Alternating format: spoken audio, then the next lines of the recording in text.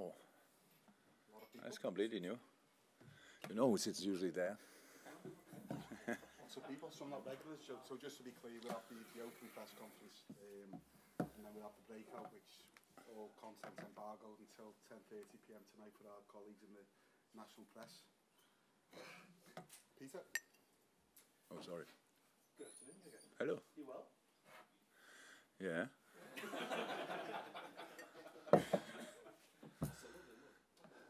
yeah. Um, before we talk Chelsea, can I just talk about you because this weekend your 1,000th game as a manager, 22 years. Crazy.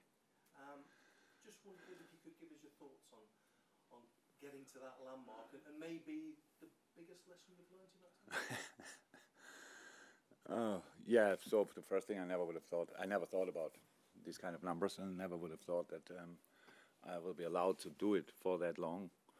Um, but somehow it went, went re really quick. And that's obviously the thing. You have to work pretty much through 22 years, and then you can somehow um, arrive there. Otherwise, with a few other the clubs would have sacked me a bit earlier than a year on break. Then you need then I'm sitting here and I'm 60 and then I have maybe 1,000. So it's a massive thing. I'm really feel really blessed. I have um, obviously three fantastic clubs, uh, which gave me the opportunity to do the job. So that's that's what's going through my mind. It's not. I don't think I learned. I, I learned a lot, obviously, but um, I wouldn't know what what is the most important thing I, have learned. Um, but it's uh, when, when this week people told me because I forgot it um, that it will happen. Um, then I really start. Then it come pictures just coming up, and the start at Mainz, uh, the start at Dortmund, the start here, all these kind of things coming up. And when you when you come in somewhere, you never know how it will go. And I was really lucky with all the things that happened. Um, and so that's it's a it's a it's a crazy number, honestly, 1,000. But um, the beard is now beard is now really grey. It was not the case when I arrived here. I'm not sure that's because of the age or because of Liverpool, um, but it's fine.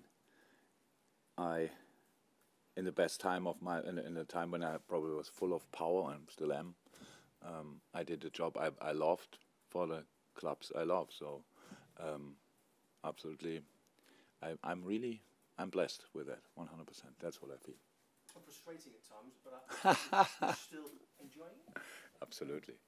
Absolutely, it's a, it's part of the deal that you have, and when you do a thousand games, uh, it would be interesting. Maybe people should get an honor for a thousand good games, so that would take much longer. I'm not sure anybody would uh, could get old enough for that. Um, so they were not all good, and not all the phases were good, but most of the time it went in the right direction. And what you learn in these times, um, football problems you solve with football, um, and there's a way out of each situation in football. That's how it is. So that gives you. I didn't know that 22 years ago. Meanwhile, I know that. I learned it the hard way, and that's all fine. Um, I, it's not. It is the best for me, the best job in the world. It's not a relaxing job. It's not a job where you um, um, have a lot of holiday or whatever, especially up here not. Um, but I love it, and I feel really blessed that I can do it because it's actually the only thing I really can do. So um, nobody would ask me any kind of question if I could would not be in football. So um, not that I, I, would miss that, but just to say that would be very a very calm life, and um, I'm absolutely fine with the excitement, the pressure, the the outstanding moments and the lesser good moments, um, I'm absolutely fine. It's part of the deal. Nobody wins all the time. Um, and I knew that early, and so I don't expect it, but I still try to do it as often as somehow possible. And in terms of the game tomorrow, you look at the league table, it looks very strange. Ninth against ten. yeah. Yeah, true. When I saw it, when we did the analyze meeting and you get a list from the other team and then so see injuries, I think it's the only team with a similar injury list like ours. Um, yeah, it's tough. That's uh, the biggest problem. We can just go through it, and without now, time, honestly, Arsenal deserves where they are in the moment. Huh? Play outstanding football, top, top, top. But cut out five players or three of their offensive players. So, and nobody would think, oh, where are you? So that's how it is. Um, the injuries are, a massive problem, and Chelsea has them as much as we have. Uh, it's not the only problem, but it's a big problem, and so that's why I'm not surprised that they do not play well. But then you look at the at the games they played, and and they lost quite a few in the last few weeks, but against teams in form, I would say they played twice. City, they played for sure, for sure Newcastle, so it was not now where you think, okay, they should give them 6 0 and send them home. So um, it was a tough period because when you watch Chelsea, there's still a lot of good football uh, in a game. It's a bit of a situation. Don't say we played now particularly well in the last uh, weeks, but when you don't use your own chances and your opponent use the first, that's a good sign for a bad period. um, and that happens a little bit more often. So we, I, I said, don't sit here and think, okay, thank God Chelsea's coming. They have even bigger problems than us. No, no, I know how good they are um, and can be. Um, and will be the next tough game. It's half time in the season as, as, we, as we get to this game. You've got FA Cup, you've got Champions League, you've got that 10 point gap to close. What, what do you need, what do you demand now from your team in the second half? again consistency in on in a good way, um, so that we we have to yeah consistently up to it. That we have to we have to defend on incredibly high level, but what we didn't do often enough, um, and based on that. We will create chances. There's no doubt about that. Will we create then immediately 20 a game? Probably not. But um, not. That's not the, the, main issue. We have to. We have to um, the, so the, the, game against Wolves, I know, was a very good example. So everybody felt in the game, winning or not. So of course, the end was again a bit hectic again, and maybe they could have. There was not a big chance, but if they score a goal there, and go to extra time, and I wouldn't have fancied that to be honest um, after such an intense game. But a lot of things were what we have to do. Uh, look like like the things we have to do, and uh, that means we have to defend together, everybody. And that's what I said. And that means defending you cannot do by moving a little bit here or there. That that's intense. Never was never different. Will never be different. Nothing with style or whatever. You can have the deep, the deepest defending on the pitch if you're all together. That's intense, um, and we we have to show that we are ready for that all the time, um, and that's what we try. Um, and it was a really nice sign. This was it was a really nice sign. It's possible after two days, after a real a real low point, um, going there, making eight changes, and be really together. Be really together. Go there, and we played good football stuff. A lot of moments, much better than before. Didn't end always in a in a chance or whatever, but how we worked together, how we played together, how the distances were. So many good football things. Were like for a coach, when you sit later there and watch it again, you think, okay, that's different, that's different. That's what we try to build on now.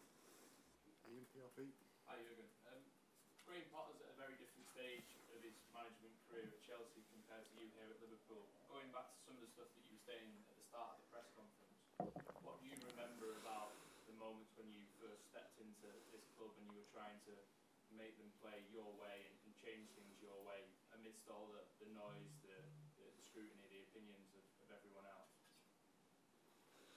Oh, I was blessed that time because I, uh, my English was not good enough, so I pretty much what you what you said I didn't understand. Most of the things didn't read too much.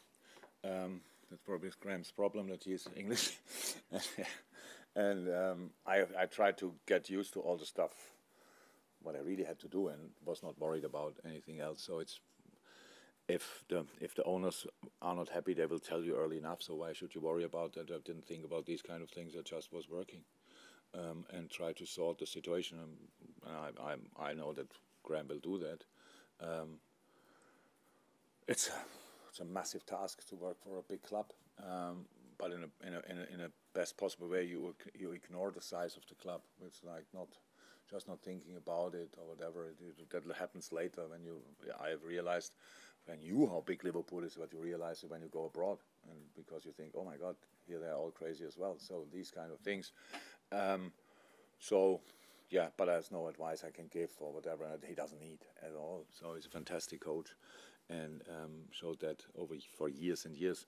Um, but with the amount of injuries, that's difficult. It's difficult, and um, yeah. That's all. I have. I don't think you can compare any kind of situations when you come to a new club. I think is it the same like this? Um, I think Liverpool was not in a, in a top place. Like um, there was, uh, it was not so difficult to improve.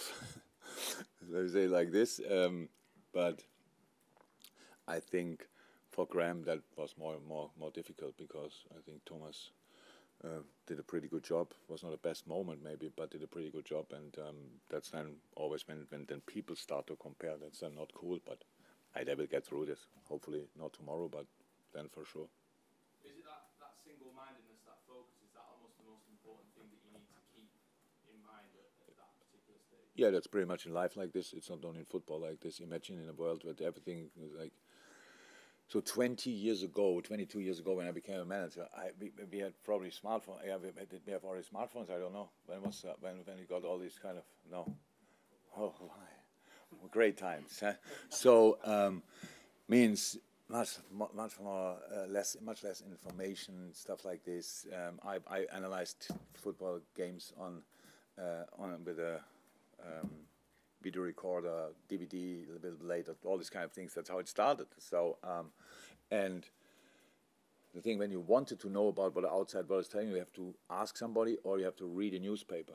So and not so good times. I, it's easy not to open a newspaper, and if you don't ask anybody, nobody can tell you. So easy. So I was always like this. I never had a problem with that. I'm interested in opinions. I'm interested in, in, in criticism as well, but from people they really care. They really are in it as well. So my everybody in this building can tell me pretty much everything. Do you really think you do that right, this right? 100%. Because we are all the same. We are all in the same boat. We all to pull in the same direction. But sorry to say, but from all of you, I couldn't care less. I, if you sit here or in front of Pep Guardiola, this is not a massive difference for you. So same problem, same question, done. There's no same problem. So Pep cannot have the same problem like me or whatever. So why should I really be concerned about what you're saying? There's just no reason for it. But you influence, of course, the outside world, and that's nowadays. And now we come back to social media. Oh my God, all these people without any kind of knowledge are allowed to. And when I was in that camp, the people had to write a letter to the newspaper. Can you imagine this process? You're not happy with something, so take a paper, then realize you cannot write properly. That, that's the first uh, challenge, and then you still do it and send it to a newspaper until they print it. I don't know how long it took. Sometimes you read it and you thought, when was that? So, and now it's a second. I really think the best advice from a 55 year old perspective ignore the outside world as long as they are not with you because they have no clue about your situation. Why would you ask them? Ian Kennedy. Are you okay? Um, i- is Darwin closer for selection for this game? Yes.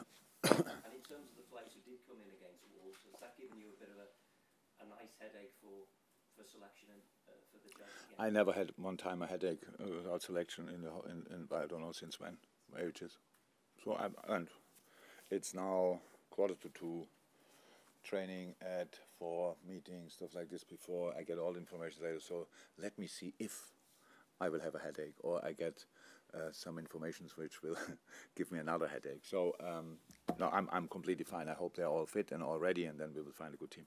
And one player who was really good the other night was, was Stefan, Stefan Bajcetic. And is he someone who's getting closer to Yes. getting into your thoughts for a starting place? He was always. He's he's for a while already. He was injured, uh, two for two games, two games I think. Um, here's my thoughts: is you cannot get be, you cannot be closer to a team than be always in a squad coming on stuff like this. He was only not in squad for twice, I think, because he was injured. But it was not nothing serious, but painful. It was out. Now he played, and yes, he's closer. So he's ready to, to, to be that kind of player rather than somebody you have to be slightly careful with in terms of his, his development. He doesn't look like we have to be careful now. Carl. Jürgen, um, Chelsea's spending over the last six months has been on an unprecedented scale. Does it start to show how competitive race just for the top four has become? Yeah, maybe we'll get probably even um, worse uh, or better. I don't know exactly how you want to say it. Yeah, interesting. I I cannot explain it. I have no idea. So, um, uh, but uh, if the numbers are somehow true, then it's impressive. Last one, see Jan, then Jack, nothing talk about. as we are the same age, I should probably put this question in writing and send you a letter. but uh, I was wondering if you sit here now and you want to give some advice to the Jurgen Klopp that took over Mainz 05 in 2001, what would you tell him? What to avoid? What to look forward to? From this standpoint today, I could have said because uh, uh, the, the, the, the easiest thing would have been don't worry, it will be fine. Um, I didn't know that that time. I want to do the job for the rest of my life. Um, and how this job is when you. I think from the first seven games, if I want, I don't know exactly, but I think we won six. We would have we would have lost one more. We would have got relegated. So you win five from the first seven. That would be an outstanding number. And nobody would have recognized it. You just go down to the third league that time to League One. It would have been in England, um, and a pretty promising coaching career would have been finished before it's really started. So, um, I was lucky that that didn't happen. Um, and about all the rest, the problems I had that time are completely different to the, to the, to the situation I have today. Um, the job I do today is a completely different job to do that. The advice would have been, but I was, be open, work, work hard, um, be curious, nosy, look around the corners, and try to find solutions for problems you don't have in a moment, but you will have in the future. So these kind of things. But the most important thing, be busy, learn the game. I had an interview now a second ago with with a colleague of you, and uh, it's like the same with co- with coaching. It's a bit the same like with golf. Um, when you think you got it, um, the game will tell you differently. So you have to complete. You have always to develop, and that's what I like the most about it. It was not for one second boring. Obviously, that's the best thing you can say about your working life. not one second boring, and um, the best thing I can can imagine to do. So that's that's how it is.